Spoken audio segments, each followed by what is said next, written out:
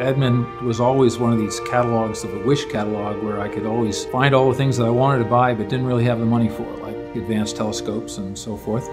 But one of the projects I did do was actually the fiber optic tree. Built that when I was in middle school in 1966. And I actually found that when I was clearing out my father's house, still intact, still working, still with the original light bulb even. I'm Dan Magorian, Section Supervisor for Architecture and Wide Area Networking for Johns Hopkins Applied Physics Lab. Well, actually, I became an architect originally um, and designed buildings. I went to MIT undergrad. Then I went on to become an engineer um, and got involved with uh, energy engineering. So I did, uh, you know, solar and other kinds of, you know, energy conservation design for buildings uh, during after I got out of college, uh, and then I became a computer guy. And then the irony is, these days I actually work with fiber optics, which is kind of what that original tree was all about, but many, many generations later.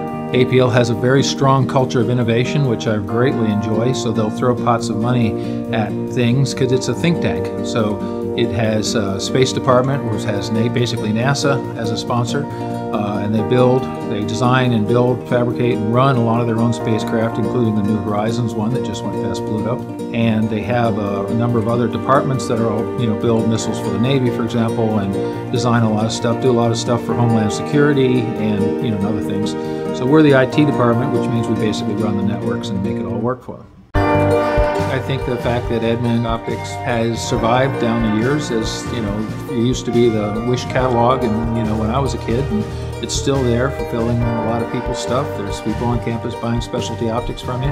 Um, you know, it's a great company, and I just wish I'd made it up to Barrington, you know, to really hunt through all that used stuff a little more before it went away. but anyway, congratulations on your 75th.